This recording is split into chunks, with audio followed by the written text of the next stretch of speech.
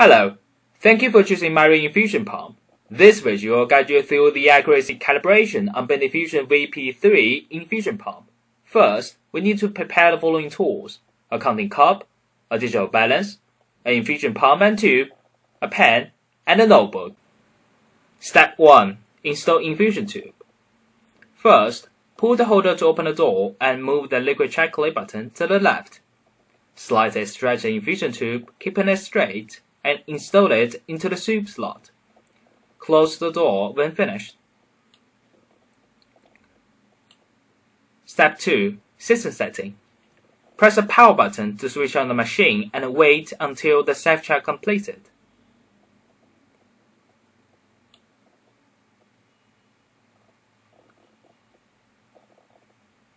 Press the status button to clear the alarm and choose the band for the tube, for instance, SK tube then press OK to continue. Press Menu to enter System menu, move downward, and select System Maintenance. A passcode is required as logging to the System Maintenance interface. Use the direction panel to enter 4321 and press OK. Move downward, choose the accuracy calibration. Step 3. First stage of calibration. Select the two band that we are calibrating and press OK.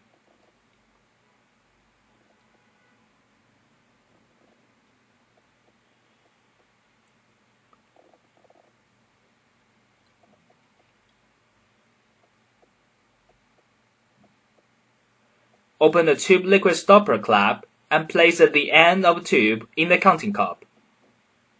Press and hold bolus button to purge and make sure no bubbles is left inside.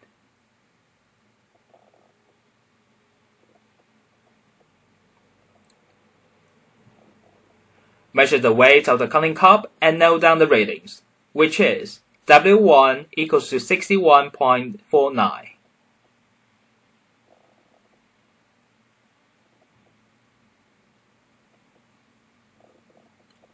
Place the anode tube inside the cup and press start.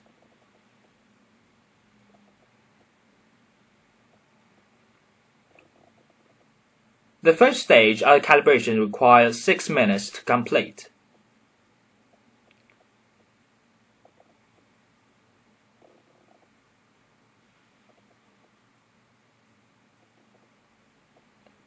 When the first stage finished, Remove the tube and measure the total weight of the cup and the liquid.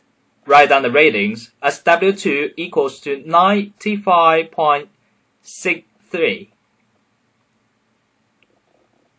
What we need now is the differences between W1 and W2 and put the value into the system. Therefore, JW1 equals to W2 minus W1 equals to 34.14.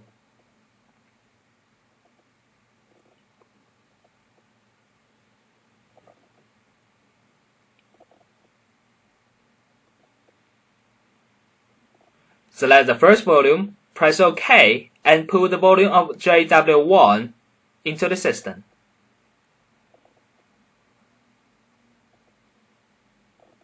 Step 4. Second stage of calibration. Followed by the first stage, the second stage only takes 2 minutes. Place the end of the tube in the club and press start key to continue.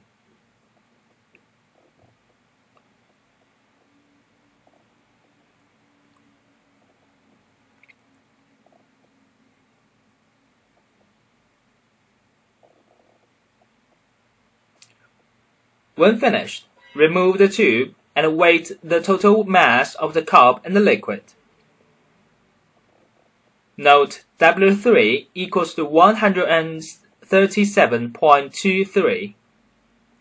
Similarly, the differences between W3 and W2 is marked as JW2, which equals to 41.6. Select second volume and press OK to input the volume of JW2. Press OK when finished. When the screen shows calibration completed, press clear to return. Then press and hold power button to switch off the machine.